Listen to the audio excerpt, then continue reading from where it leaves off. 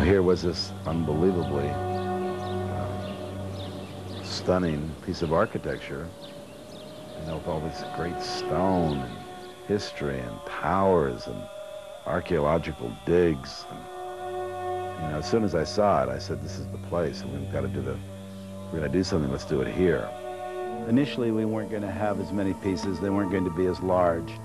But I wanted to be able to really, you know, get a grip on the Citadel so that when people came in, they could experience the exhibition and really feel the force and the magic and the joy of the glass.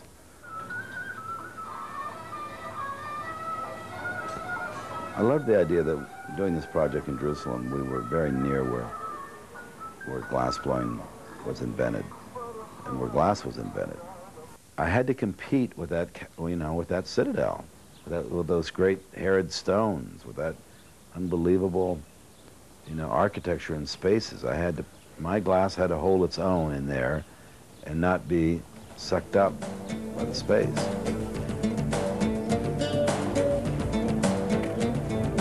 I think it's a nice piece, you know, nice homage to the, the history and the tradition that um, there was glass in, in this region.